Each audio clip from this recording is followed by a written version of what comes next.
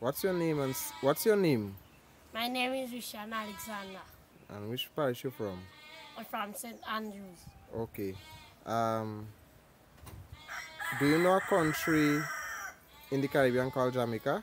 Yes, And what do you know about Jamaica?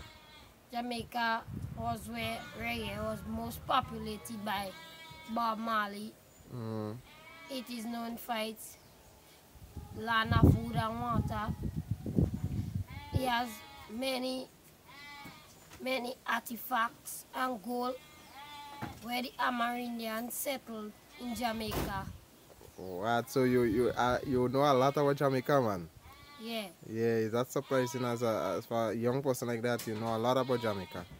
What do you think of Jamaica and Jamaicans as a Grenadian? as a Grenadian, I think that Jamaicans,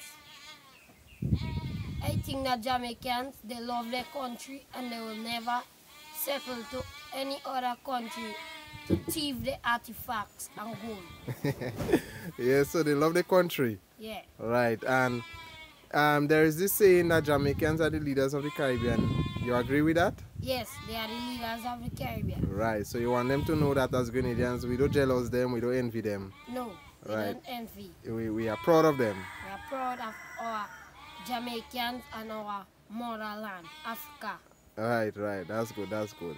All right, so thank you very much. Yeah.